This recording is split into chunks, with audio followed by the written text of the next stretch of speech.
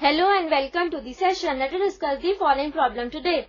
Show that the relation R in the set 1, 2, 3 given by R is equal to 1, 2 and 2, 1 is symmetric but neither reflexive nor transitive.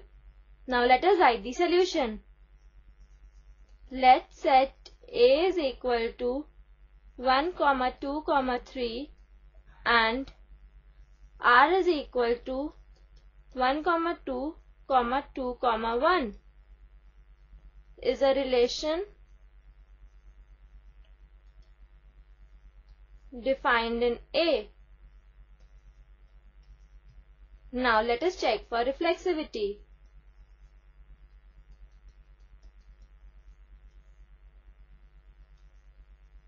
For 1 belongs to A, 1 comma 1 does not belongs to R Therefore, R is not reflexive. Now let us check for symmetry.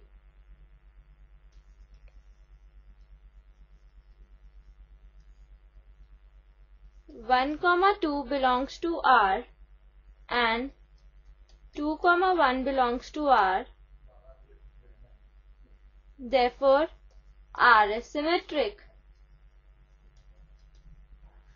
Now let us check for transitivity.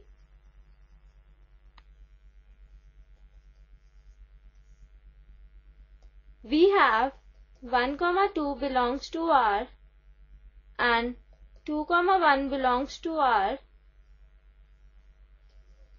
but 1 comma 1 does not belongs to R therefore R is not transitive. Hence we have proved R is symmetric and R is not reflexive and R is not transitive. I hope you understood this problem. Bye and have a nice day.